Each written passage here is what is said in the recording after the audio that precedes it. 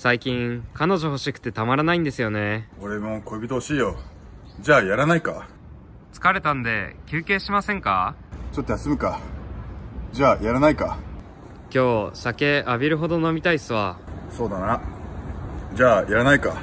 今度、スノボーしに行きません？一緒に滑ろうぜ。じゃあやらないか。昨日上司に怒られて、ほんとイラつきました。そんなの気にすんなよ。じゃあやらないか。手めちゃくちゃ冷たい。触ってみますか？温めてあげるよ。じゃあやらないか。日本の政治についてどう思いますか？アベノミクスでしょ。じゃあやらないか。羽賀さんって、デッドリフトめちゃめちゃ強いですよね。まあね。じゃあやらないか。羽賀さんって、ベンチだけなんであんな弱いんすか？うるせえよ。じゃあやらないか。ジム行きません？いいね。じゃあやらないか。まずうちさ、屋上あんだけど、焼いてかない？スポンポンになっていい？じゃあやらないか？おっす、ほら、ホモ。君もホモなの？じゃあやらないか？今度友達と新宿2丁目行こうと思ってて、俺が案内してあげるよ。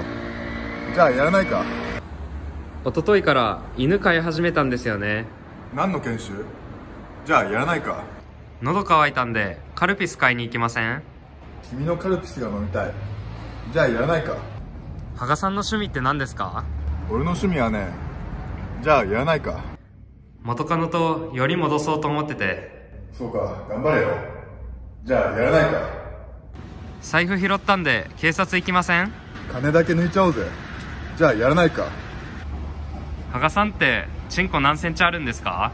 ちょっとだけ舐めてよ。じゃあやらないか。いや、やらねえよ、バカ。